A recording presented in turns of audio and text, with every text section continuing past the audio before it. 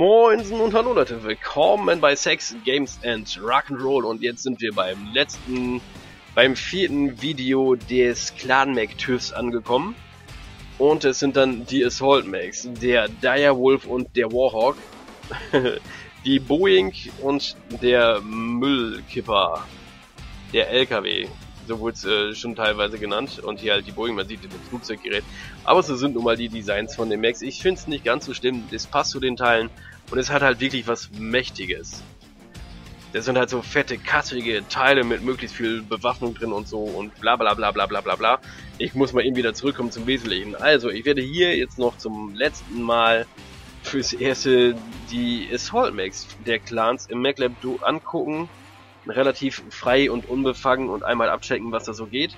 Beim Direwolf, ich werde nicht großartig darauf eingehen, dass man, wenn man die Omnipods austauscht, ein 6er Ultra AC5 Bild oder ein Quattro Ultra AC10 Bild oder sowas fahren kann, sondern ich beschränke mich wirklich nur auf die konkreten Varianten, ohne Omnipods auszutauschen.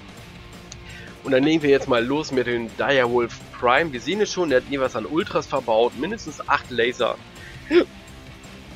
könnte schon mal sehr hart mächtig werden. Hier, vier Medium Puls Laser, vier Large Laser, zwei Ultra AC5er und Long Range Missile 10er noch verbaut.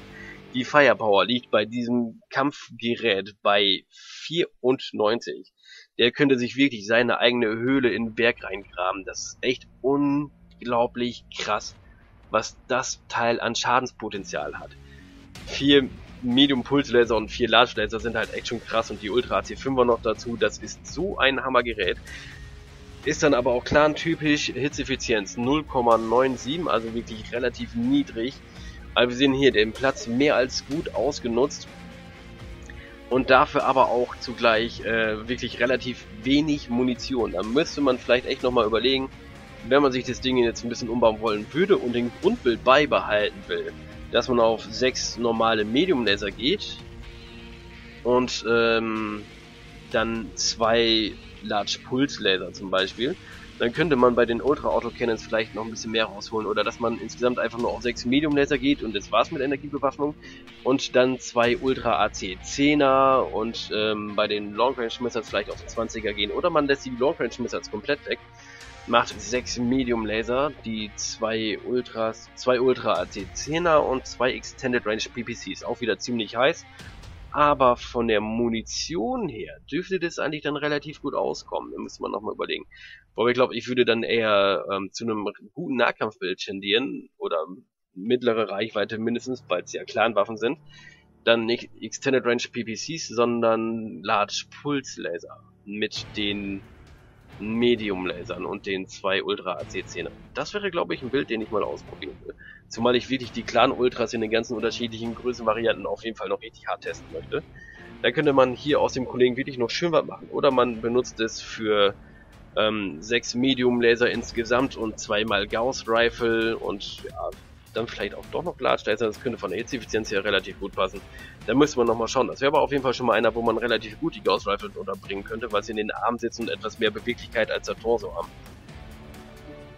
Bin ich mal sehr gespannt. Also da werde ich, äh, das ist halt so das Typische für die Assault Max generell. Da hat man halt meistens doch schon die Möglichkeit, sehr viel dran rumzuschrauben, weil sie oftmals viel mehr unterschiedliche Slots und Möglichkeiten haben.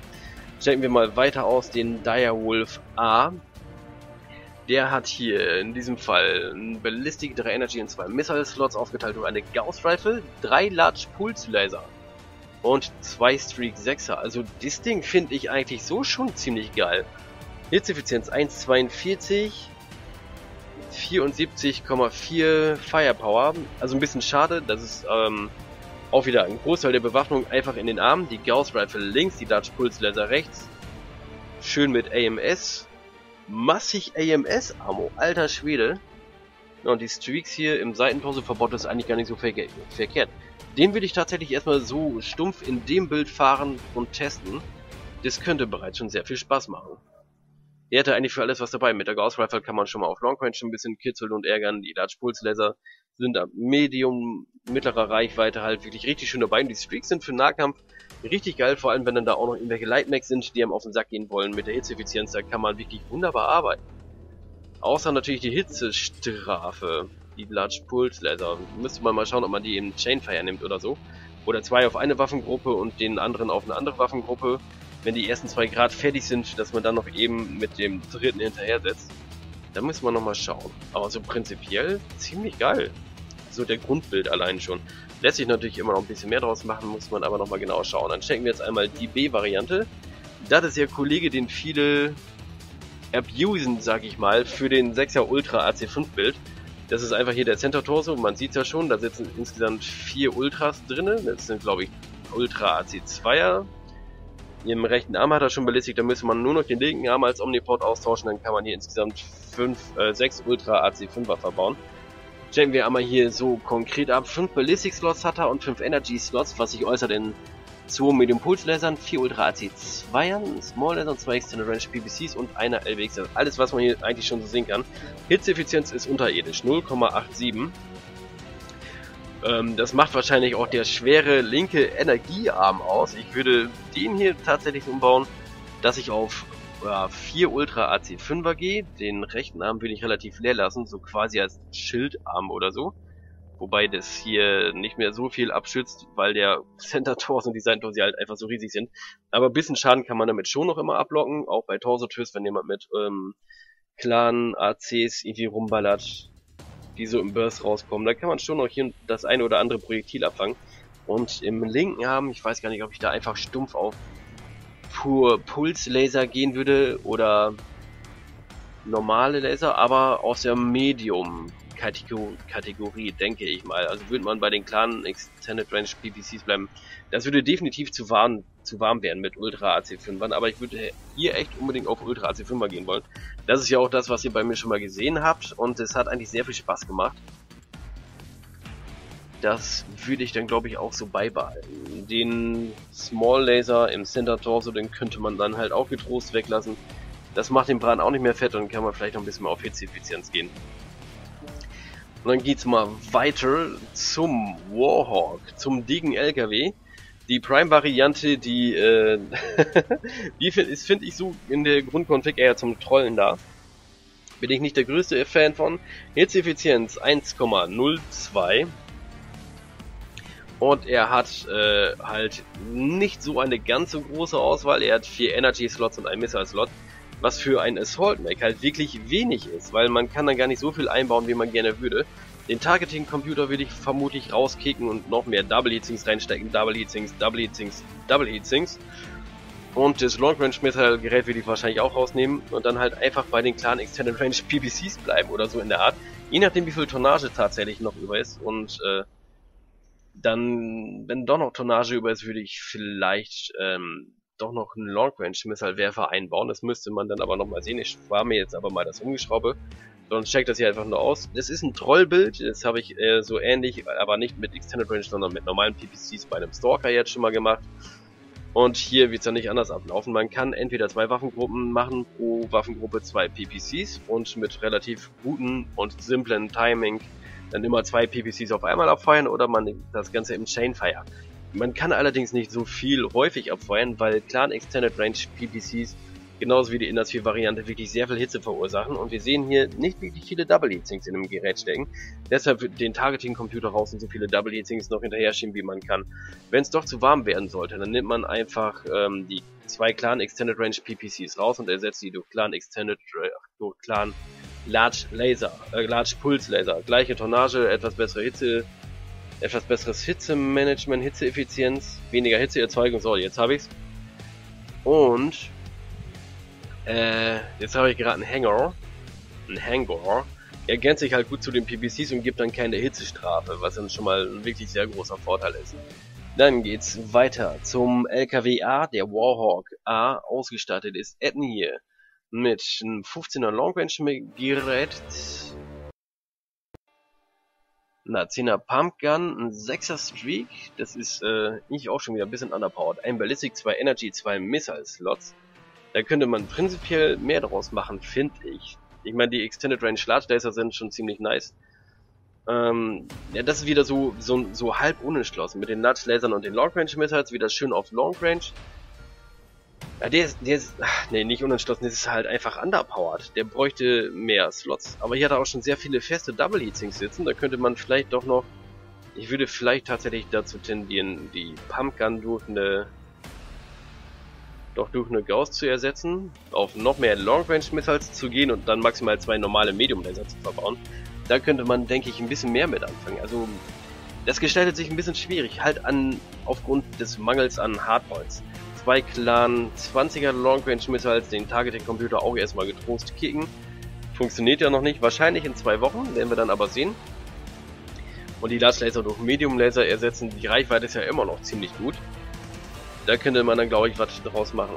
Eine Gauss, zwei LRM 20er, zwei Medium Laser.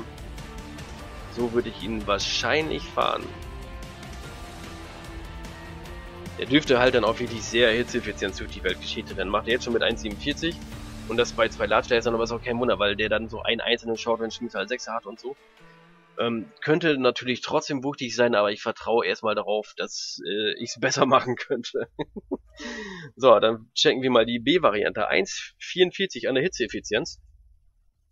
Ist gar nicht mal so schlecht und der ist von den Hardpoints her auch der beste. Ein Ballistic vier Energy und drei Missile Slots. Da kann man schon eher was draus machen. Zwei Short Range Missile, sechs hat er verbaut, ein Nag, ein Small Laser, drei Medium Laser und eine Gauss Rifle. Also da kann man auf jeden Fall schon ein bisschen fröhlicher mit durch die Weltgeschichte hopsen.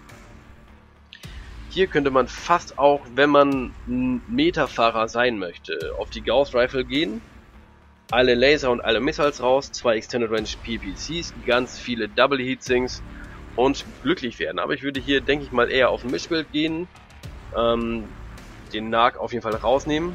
Also egal in welcher Variante, ich bin ja halt wie schon ein paar Mal erwähnt nicht so der Nag-Fan. Die Gauss Rifle würde ich, denke ich, drin lassen, alle Energiewaffen erstmal raus.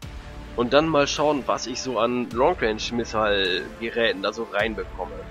Das dürfte hier nochmal interessanter werden. Man kann natürlich aber auch auf einen puren Short Range Missile äh, gehen, Nag raus, ersetzen durch Short Range Missiles. Die Short Range Missiles, die haben ja sowieso unfassbar krass viel Munition drin stecken.